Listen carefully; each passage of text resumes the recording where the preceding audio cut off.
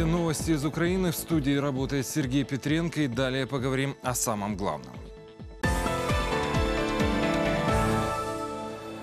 Российская сторона снова нарушила гарантии. Боевики в Авдеевке обстреляли бригаду электромонтажников и под прикрытием артиллерии атакуют украинские позиции. Всемирный день борьбы против рака новейшие разработки украинских медиков увеличивают шансы победить онкозаболевание. И второе золото Украины танцевальная пара фигуристов из Харькова Александра Назарова и Максим Никитин чемпионы зимней универсиады в Алматы. Ремонтные работы на линии электропередач в Авдеевке опять прерваны. Во второй половине дня боевики открыли прицельный огонь по бригаде электромонтажников, сообщили в мониторинговой миссии ОБСЕ. Позже оккупанты начали штурм украинских позиций в Авдеевской промзоне. При этом применили артиллерию 152 калибра и 120 миллиметровые минометы. В штабе АТО отметили, российская сторона в очередной раз нарушила свои же гарантии прекращения огня чтобы сорвать ремонтные работы и обострить гуманитарную ситуацию. Несмотря на достигнутые договоренности о прекращении огня для восстановления поврежденных электросетей в Авдеевке, российско-оккупационные войска грубо нарушили режим тишины. Около 17.30 оккупанты начали штурмовые действия наших позиций в районе Авдеевской промзоны с применением 152 миллиметровых пушек и минометов 120 калибра. В общем, зафиксировано 35 обстрелов. Один наш военный ранен. Обстрелы украинских позиций со стороны боевиков продолжаются на всех направлениях. Из танков, БМП, минометов и стрелкового оружия оккупанты неоднократно вели огонь по Каменке, Авдеевке и Зайцево из артиллерии калибра 152 мм по Новолуганскому. Минометы различных калибров и гранатометы пророссийские войска применили в Чермалыке, Широкино, Красногоровке, Павлополе-Водяном и Толоковке. Также по Чермалыку стреляли из танка. По Новозвановке били грады, а в Богославском и Попасной работал снайпер. Боевики продолжают обстреливать жилые кварталы Авдеевки. Накануне вечером их снаряд попал в квартиру пятиэтажного дома, сообщил начальник нацполиции Донецкой области Вячеслав Аброськин. В это время там находились пятеро детей. Самому младшему из них пять лет. К счастью, никто не пострадал. В результаті атак ворога в чергове В результате атак врага в очередной раз пострадали местные жители. Поздно вечером из-за прямого попадания артиллерийского снаряда, выпущенного врагом в многоэтажный дом в западной части города, без жилья осталась семья с пятью малолетними детьми. Местные власти, силовые ведомства, спасатели и все неравнодушные прилагают максимум усилий, чтобы облегчить страдания жителей Авдеевки. 30 зданий, 28 из которых жилые, повреждены и в Сартане. Это пригород Мариуполя. Накануне боевики дважды обстреляли поселок из артиллерии. Выпустили 40 снарядов. Об этом сообщили в Донецкой областной полиции. Один из снарядов попал в электроподстанцию. В результате без света остались не только жители Сартаны, но и Толоковки. В некоторых домах осколки перебили газопровод, из-за чего была прекращена подача газа. К утру коммунальные службы почти полностью восстановили энергоснабжение в городе. Этот населенный пункт страдает именно от обстрелов боевиков со стороны Коминтерна. Мы сейчас как раз находимся возле болванки Град, которая вошла, и четко видно направление, откуда она к нам прилетела. Сразу же после получения сообщения о обстреле населенного пункта по тревоге был поднят весь личный состав Мариупольского гарнизона полиции. Для чего? Прежде всего для оказания помощи гражданам, документирования всех преступлений, злодеяний данных террористических угруппований, так званых ДНР, ЛНР, Служба безопасности Украины обнародовала доказательства того, что террористы ведут обстрелы украинских позиций из жилых кварталов Донецка. СБУ перехватила телефонный разговор экс-главы так называемого Народного совета ДНР Андрея Пургина и депутата этого фейкового совета Татьяны Дворяткиной. Доказательства приобщают к делу о создании ДНР. И дроны летают, и снаряды. Угу. Тільки що тут гради мимо нас. куда-то Ну, у нас прочесали. только э, от нас только летит от нас. Мгм, мгм. Ты знаешь, у нас вывозят на чем из депо, потом обратно. А что у нас И- это тут в пос- в посадочке? Ну, а у нас веселее. У нас, получается, если не дуру становится возле нашего дома, то блядь. Ну и у нас же тоже вот прям рядом. Доказательства того, что боевики стреляют по Авдеевке из жилых кварталов, ранее представили исследователи международной группы Беллингкет. Они проанализировали спутниковые снимки, отчеты ОБСЕ и сообщения местных жителей в соцсетях. В докладе говорится, судя по видео и фото, место запуска града находится в 200 метрах от гипермаркета и менее чем в 500 от школы и жилых домов. Второе место возле трассы. Это подтверждают и спутниковые снимки. Следователи уверены, жилые кварталы боевики выбрали не случайно. В этом случае любая попытка украинской армии подавить огонь подвергла бы риску жизни мирных жителей. Принимать раненых продолжают и в Днепре. Среди пострадавших от оружия боевиков в Авдеевке британский фотокорреспондент. Он попал под огонь накануне, когда оккупанты обстреляли центр гуманитарной помощи. Тогда снаряд попал в автомобиль спасателей. Погиб водитель аварийно-спасательного отряда. Один сотрудник ГосЧС был тяжело ранен. В аэропорту Днепра очередь из скорых. Медики едва успевают забирать носилки с ранеными, которые все прибывают из Авдеевки. Среди пострадавших и несколько гражданских. Сотрудник ГосЧС Дмитрий Третейкин признается, за три года войны видел многое. Но этот снаряд застал его врасплох. Вышел встречать машины штаба э, до разгрузки э,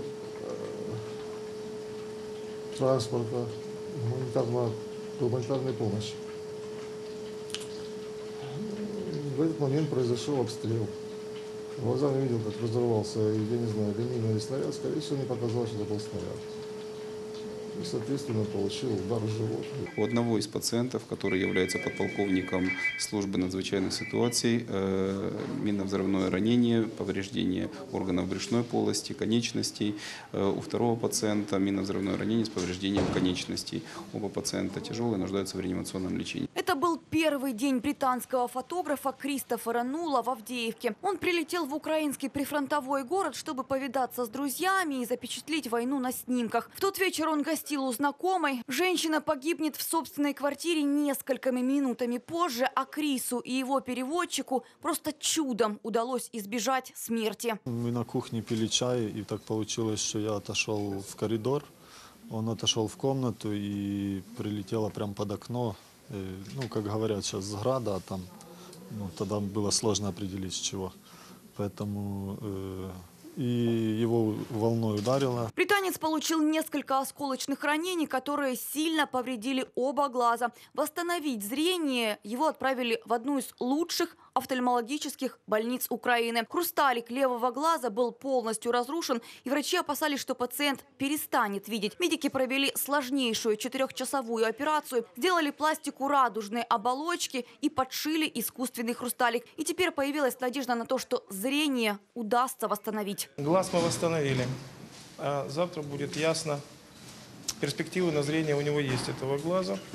И мы постараемся побороться за эти перспективы. Он сам выразил такое пожелание оперироваться здесь. И я хочу сказать, что, наверное, он принял правильное решение. Потому что я думаю, что мы оперируем не хуже, чем в Лондоне. Тем временем в госпиталь продолжают поступать бойцы, получившие ранения под Авдеевкой, Мариуполем и на Светлодарской дуге. Врачи говорят, за последние двое суток приняли 30 воинов. Ведь несмотря на минские договоренности, боевики постоянно ведут обстрелы из тяжелой артиллерии и градов. Маргарита Стытюк, Татьяна Долгер, Дмитрий Большак, UATV, Днепр. Санкции против России, связанные с Крымом, сохранятся. В Белом доме подтвердили слова постпреда США при ООН Ники Хейли о том, что ограничения будут действовать, пока полуостров останется оккупированным. Так представитель Белого дома Шон Спайсер ответил на вопрос, намерена ли администрация США сохранить санкции против Кремля. Напомню, на заседании Совбеза ООН в четверг Хейли подчеркнула, Соединенные Штаты осуждают оккупацию Крыма и призывают вернуть полуостров под контроль Украины. Что касается санкций, я думаю, посол Хейли очень четко заявила о нашей обеспокоенности российской оккупацией Крыма. Я думаю, она говорила очень убедительно и четко об этом. За мир, спаси Авдеевку и Путин, прекрати войну. С такими лозунгами и призывами активисты вышли на центральную площадь Киева. Таким образом выразили солидарность с жителями Донбасса, где уже неделю российские оккупационные войска обстреливают жилые кварталы и убивают мирных граждан.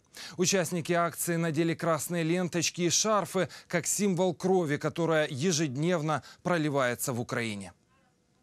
Студентка Валентина выехала из Авдеевки во время первой волны боевых действий весной 2014-го. Уже два года учится в Киеве, но родители остались там. Говорит, из-за перебоев электроснабжения даже созвониться стало проблемой.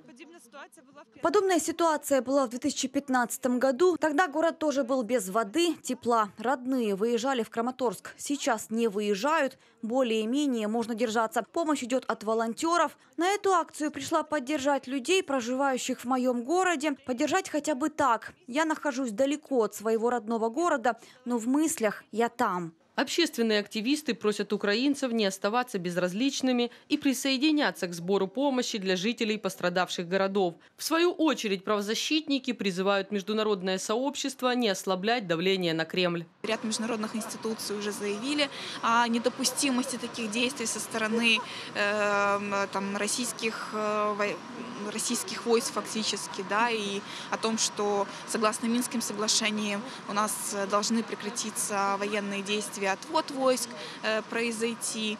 Э, поэтому мы со своей стороны также э, отправляем обращение в международные институции еще раз, чтобы обратить на это внимание. Снова обостряются боевые действия, люди страдают. Нельзя давать послабление России и отменять санкции. Надо, наоборот, давить и заставить как-то вынудить их прекратить боевые действия. Многие активисты пришли с красными повязками. Они символизируют кровь мирных жителей и украинских воинов, погибших из-за российской агрессии на Востоке. Анна Нерус, Петр Галка, ЕЮТВ. Узнать больше о НАТО и высказать свою позицию. Такая задача легла на плечи украинских старшеклассников и студентов. Свой взгляд на инициативу и перспективу вступления Украины в Альянс они продемонстрировали в фотографиях и видеороликах. Их сделали для всеукраинского конкурса. Из сотен заявок жюри выбрало лучшие и наградило победителей в Киеве. Как современная молодежь смотрит на членство Украины в НАТО, расскажет Маргарита Харунжия.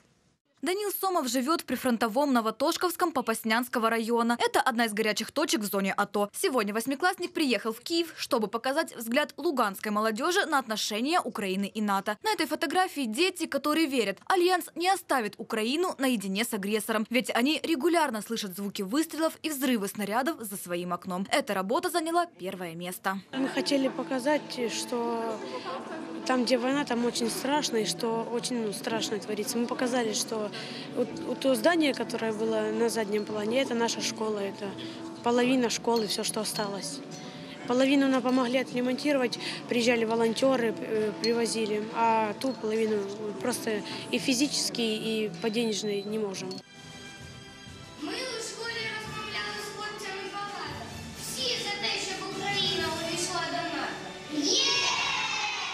В этом трогательном видео третьеклассники рассказывают свое видение НАТО. Снял его одиннадцатиклассник из Сум Алексей Назаренко. Ему было интересно, что об Альянсе думают сверстники его младшего брата. Говорит, своей работой решил показать, что даже совсем юные украинцы уже знают о преимуществах членства в Альянсе. Наверное, НАТО – это единственный способ, чтобы ну, справить нашу страну улучшить как-то ее. Стартовал конкурс в сентябре 2016-го. За 4 месяца поступило 600 работ из всех регионов страны. Организаторы считают, взирая на ажиотаж, можно считать свою миссию перевыполненной. Ведь украинская молодежь теперь понимает, НАТО не только защита и оборона, это солидарность и доверие, построенное на демократических ценностях.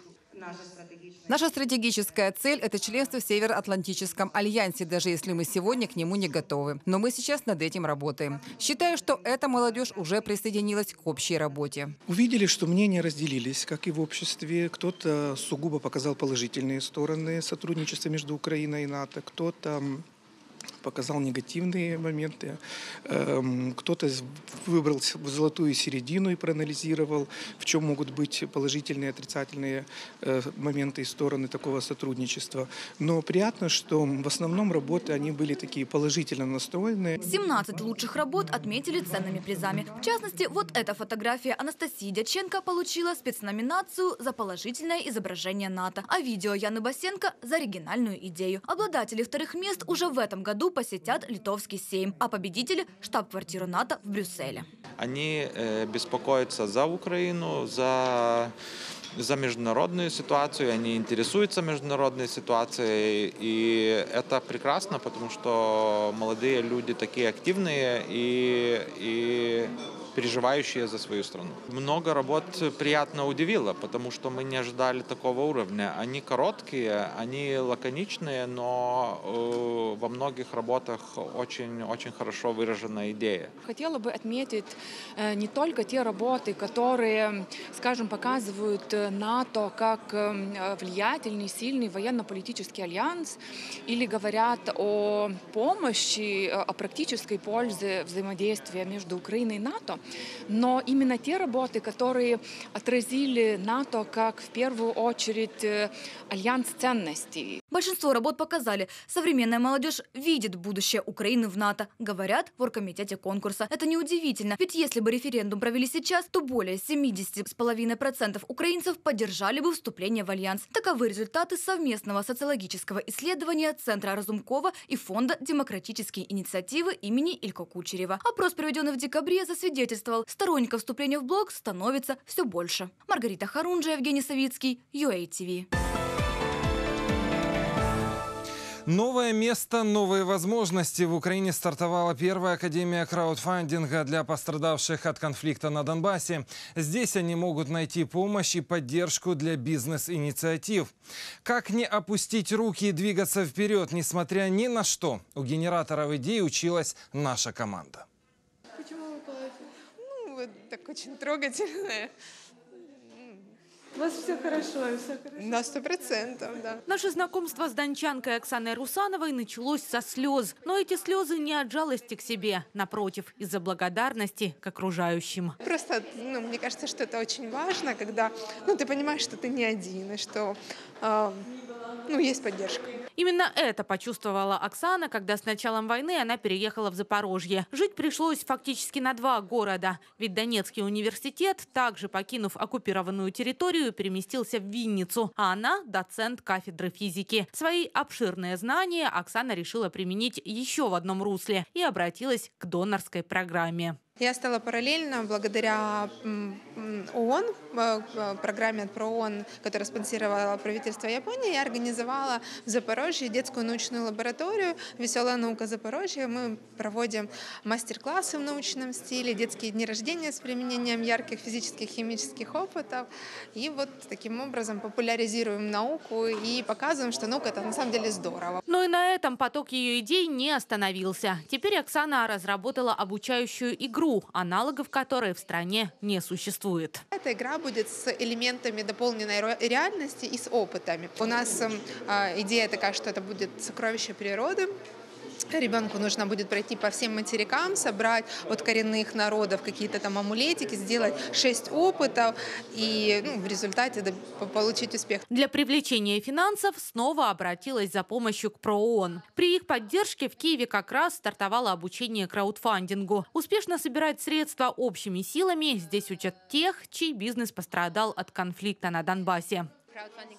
Академии краудфандинга в Хорватии уже три года. Здесь мы делимся опытом, работаем с командами, помогаем реализовывать идеи. Это касается не только бизнеса и партнерства. Это социальные, образовательные направления, проекты по независимой энергетике. Совершенно разные компании. Отсутствие стартового капитала – одна из главных проблем для переселенцев, желающих начать свое дело. При этом креативности и амбиций хватает с лихвой. Если под них найти деньги, выиграют все, в том числе и государство. При наличии достаточного и хорошего финансирования для малого и среднего бизнеса творческий потенциал, креативный потенциал наших людей таков, что мы можем с уверенностью ожидать очень быстрого и э, мощного экономического возрождения, если дать этот серьезный толчок.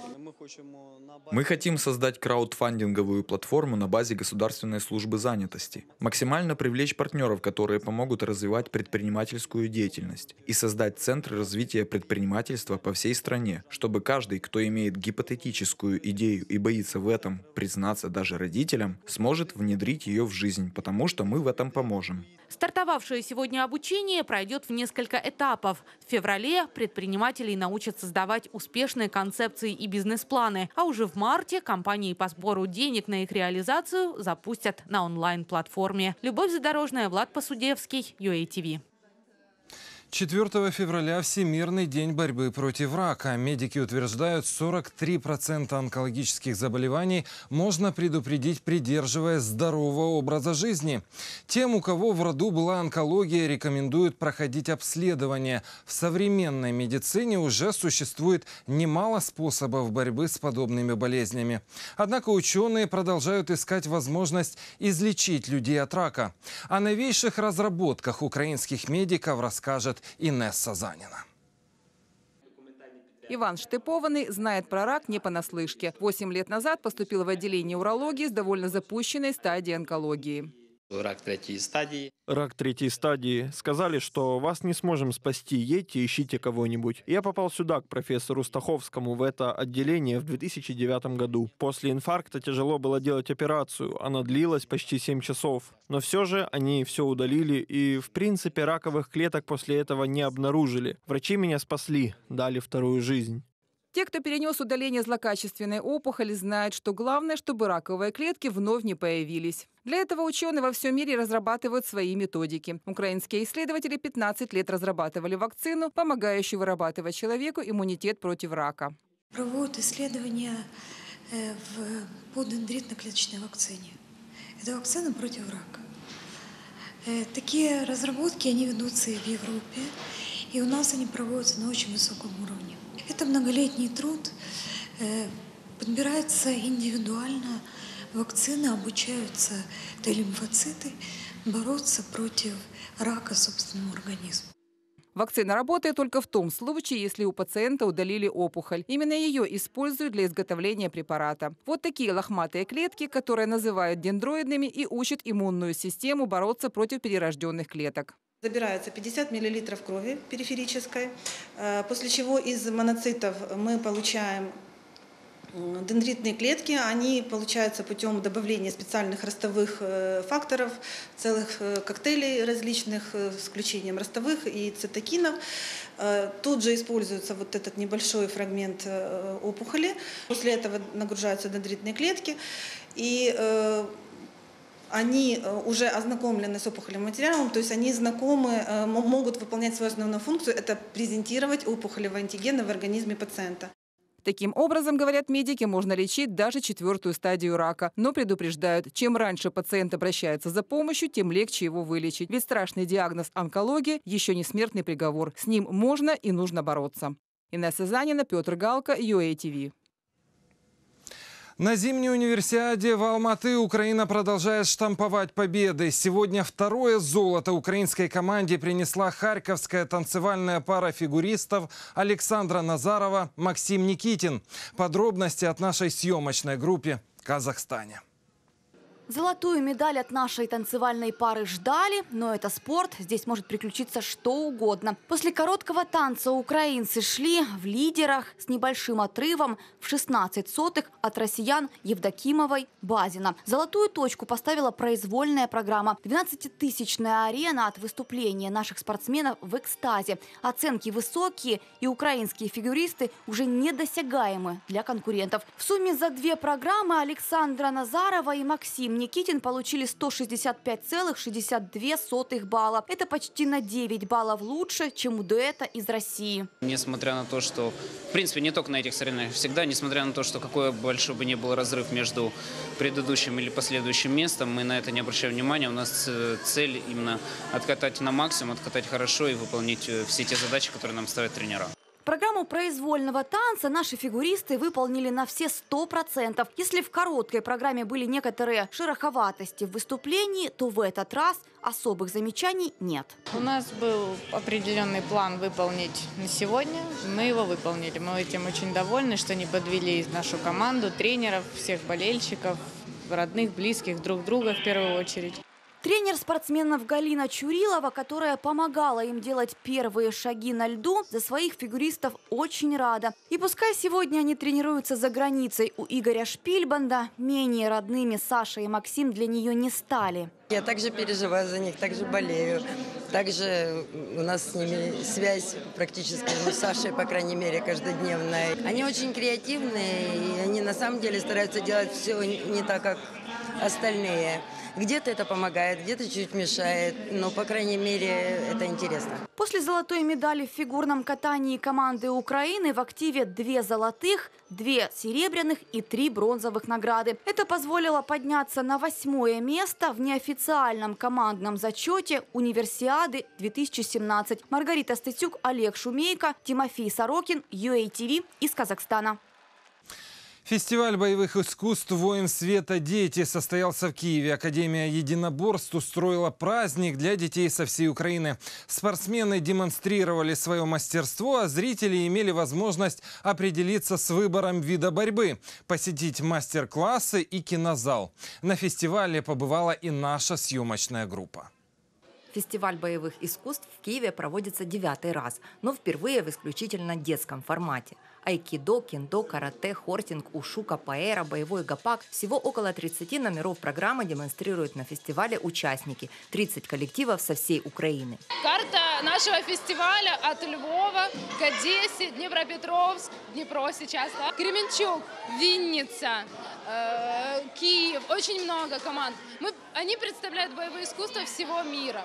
То есть это и Япония, и Вьетнам, и Бразилия, и Китай – Весь мир, все самые известные популярные боевые искусства мира представлены сегодня на детском фестивале. Ребята из коллектива Сатори, представители школы Айкидо Айкикай, приехали из Днепра. На фестиваль привезли свою новую боевую программу «Светлые мысли против темных мыслей». Рассказывают, почему выбрали именно этот вид борьбы. Чтобы а, устранить э, чтобы устранить э, боевой дух. Бо... Не, чтобы устранить э, боевой дух и защитить, ну, ну, чтобы защитить себя при э, случаях. Наша борьба это защита, при мы используем силу противника против него самого. Занятия восточными единоборствами предполагают не только физическое, но и духовное развитие. Гость фестиваля, музыкант Владимир Лазуткин, демонстрирует духовное оружие. Играет на японской флейте шакухачи. На ней играют в храмах, в монастырях, используют для медитации. Инструмент может передать голоса птиц, взмах меча, капли дождя. Также буддийские монахи умели использовать флейту как средство для самозащиты. Я буду играть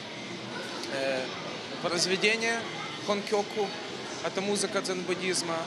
Э, инструмент создан для того, чтобы э, человек мог погрузить себя в состояние некой расслабленности, божественного, божественное состояние. Вероятно, он создан для того, чтобы человек достиг сатори, достиг просветления. Жюри фестиваля определяло победителей в девяти номинациях. Прежде всего отметили команды, чьи выступления были лучшими. Также своих обладателей нашли призы «Зрительские симпатии» и «Харизма фестиваля». Оценили и самое драйвовое выступление. В составе жюри олимпийская чемпионка по вольной борьбе Ирине Мерлени. Это ее третий фестиваль в качестве судьи. Мне по духу близки единоборства. Также я также увлекалась, э, знаете, в свое время мастерством э, великих мастеров, как Брюс Ли, как э, Джеки Чан, как Чак Норрис. И здесь очень много представителей вот, юных деток, которые видно, что они тоже копируют как бы этих сильных таких людей, вот, и которые тоже стремятся добиться чего-то в жизни, найти свой вид спорта. На фестивале также можно было попрактиковаться в искусстве оригами, примерить японское кимоно, посетить различные мастер-классы. Саморазвитие, самопознание, самосовершенствование. Каждый из участников фестиваля боевых искусств открыл для себя что-то новое, а желающие овладеть каким-либо из них могли сразу записаться на пробное занятие в академии. Елена Дидух, Антон Борзенков, UATV. На этом мы заканчиваем выпуск. Более детальную информацию смотрите на Фейсбуке и Ютубе. Я же прощаюсь с вами. Хорошего всем настроения и только позитивных новостей.